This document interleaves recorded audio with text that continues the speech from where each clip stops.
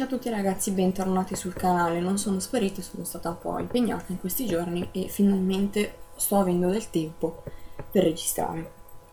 Allora, TBR di gennaio, sono già indietro sui piani, ma va bene, dettagli. Allora, vi dico che intanto sto leggendo eh, Ogni giorno di David Levitan, ho tolto la copertina. Questo libro è un po' sfigato perché io l'altro giorno l'ho portato in bagno mentre facevo il bagno, ma va e praticamente avevo lasciato sulla copertina e ovviamente adesso fa le onde. Brava, brava, sono molto intelligente. Poi portandolo in borsa, non so che caspita avevo messo dentro e boh, è rimasto macchiato, quindi vabbè, pace. Comunque sono um, più o meno metà e mi sta piacendo tantissimo. Spero di riuscire a finirlo entro, entro la fine di questa settimana. Contemporaneamente ho iniziato Dormono sulla collina di Giacomo di Girolamo. Eh, perché è ginormico e quindi voglio leggerlo un po' alla volta visto che comunque sono cioè pagine scritte un po' così. E quindi boh, un po' alla volta prima di dormire insomma si, si, porta avanti.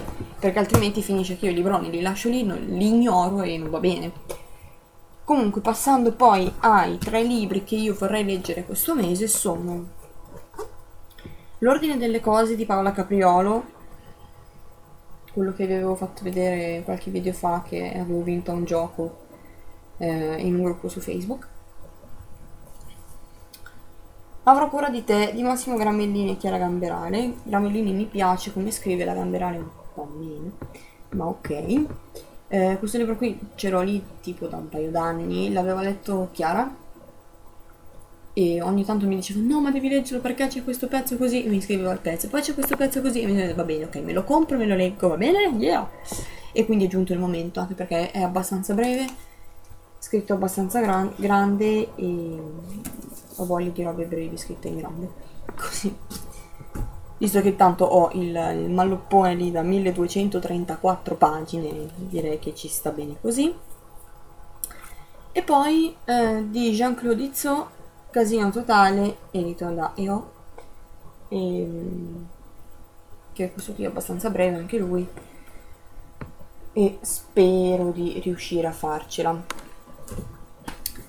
Poi sono stata bravissima perché sono riuscita a mantenere la, la cosa di non comprare libri mm, per tutto dicembre probabilmente succederà lo stesso per tutto gennaio.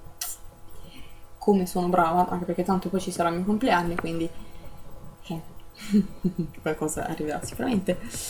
Quindi devo star buona. E niente, ci vediamo al prossimo video che sarà il wrap up delle, delle poche letture di dicembre. E alla prossima. Ciao!